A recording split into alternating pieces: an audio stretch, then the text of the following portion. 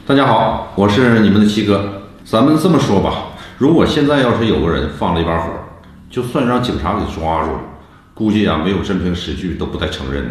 但是在古代啊，就有这么一伙人，火着的还挺大，都跑出来说是自己干的啊，我干的，我干的。其实啊，关于这个火烧赤壁这个事儿，《三国志》上的记载就是自相矛盾，乱七八糟。在那个《吴主传》里边记载是怎么说的？说曹操攻烧渔船隐退，士卒击役，死者大半。说是谁烧的？哎，曹操烧。然后《先主传》就是刘备的传记里边是怎么记载？说与曹公战于赤壁，大破之，焚其舟船。说谁烧的？刘备烧。然后《黄盖传》中是怎么记载呢？说是建安中随周瑜拒曹公于赤壁，建策火攻啊，这把火又是周瑜跟黄盖他俩烧的。然后呢，曹操呢给孙孙权的书信上是怎么写的？说是赤壁之役只有疾病，故烧船自退，横使周瑜获此虚名。指出啥？说是哎，这把大火是我曹操我自己放的。放火的原因呢，就是因为我这边得瘟疫了，呃，没办法预防治疗，我一把火把船烧了，看着没？就是放放把火的事儿争上了，为啥呢？有面子呗。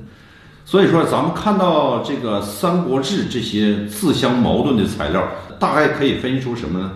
几点？第一点呢，曹操肯定是失败，对于这个事实，现在是无可争议的。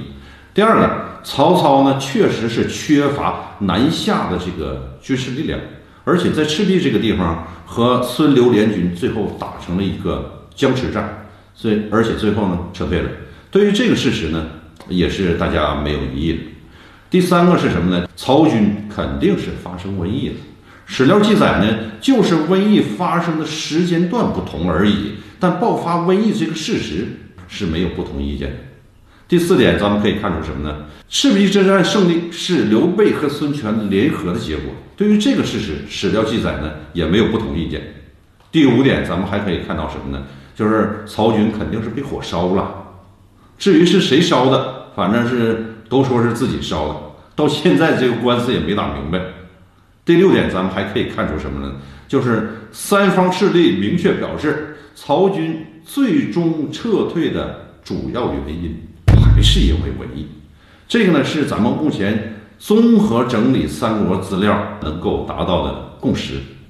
其实啊，还有一个细节，不知道大家发没发现，就是说，无论是《三国志》还是《三国演义》里边，赤壁之战，你说，哎，既然打这么热闹，这么惨烈，可是大伙想一想，到底哪个名将、哪个知名的谋士是在赤壁之战里边死的呢？好像没有，是不是？那这是为什么呢？咱们明天继续。